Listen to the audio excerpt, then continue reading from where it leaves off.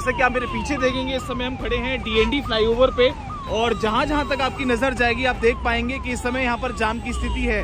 और यही स्थिति सुबह से लगातार बनी हुई है। यहाँ तक कि एंबुलेंस को निकलने के लिए भी रास्ता नहीं मिल पा रहा है, लेकिन फिर भी शासन प्रशासन पूरा कंट्रोल करने की प्रयास कर रहा है कि किसी तरीके से किसानों को दिल्ली में एंट्री करने पर रोका जाए। अगर आप देखेंगे, दूर तक आपकी नज़र जाएगी तो आप देख पाएँगे, इस समय यहाँ पर जो सुरक्षा बल है, वो खड़ा हुआ है। भारी तैनात किया हुआ है। यहाँ पर सुरक्षा बल को तैनात किया गया है। और अगर मेरे पीछे आप देखेंगे तो यहाँ पर क्रेन की व्यवस्था भी की गई है और तमाम जो बैरिकेडिंग है पत्थर हैं वो यहाँ पर ला के रखे गए हैं। किसी तरीके से किसानों की यहाँ पर एंट्री ना की जाए।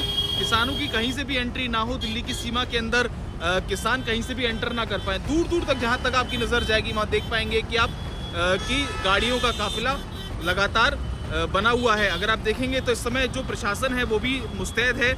चाहे वो आला अधिकारी हो, पानी पी पी कर वो यहाँ पर अपनी ड्यूटी कर रहे हैं और दूर दूर तक जहाँ तक आपकी नज़र जाएगी, वो देख पाएँगे कि यहाँ पर डंपर ला के खड़े करे गए हैं। पीछे तक अगर आप देख पाएँ तो आप देख पाएँगे कि यहाँ पर डंपर ला कर खड़े गए हैं। क्रेन की व्यवस्था है कि अगर किसी तरीके से कोई बड़े वाहनों की एंट्री होती है, अगर ट्रैक्टर लेकर आते हैं किसान तो उनको डंपरों की मदद से रोका जाए, क्रेन की मदद से रोका जाए तो तमाम जितने भी बॉर्डर हैं, चाहे वो सिंघू बॉर्डर हो, गाजीपुर बॉर्डर हो और सिंधु बॉर्डर हो तमाम बॉर्डरों पर जो दिल्ली के, दिल्ली को जोड़ते हैं, चाहे वो हरियाणा से जोड़े, पंजाब से जोड़ें और कहीं कहीं उत्तर प्रदेश से भी जोड़ें तो सभी जो बॉर्डर हैं, वो पूरी तरीके से वहाँ पर सुरक्षा चाक चौबंद है और जहाँ जहाँ आपकी नज़र जाएगी, आप देखेंगे कि इस समय सुरक्षा के जो इंतज़ाम बड़े पैमाने पर कर गए हालाँकि यहाँ पर अभी वो जो कीलों वाले जो प्लेट्स थी, वो यहाँ पर नहीं है। कांटेदार यहाँ पर जाल नहीं बिछाया गया, लेकिन बैरिकेडिंग पत्थर वाली बैरिकेडिंग और क्रेन ये तीनों चीज़ें यहाँ पर लगातार हैं। और धीरे धीरे जैसे कि अगर हम सुबह की बात करें, हमने यहाँ पर रिपोर्ट की थी तो सुबह इतना फोर्स नहीं था, लेकिन अगर हम बात करें अभी की तो दोपहर जैसे जैसे होती जा रही है, आप देखेंगे यहाँ पर तमाम सुरक्षा बल तैनात है।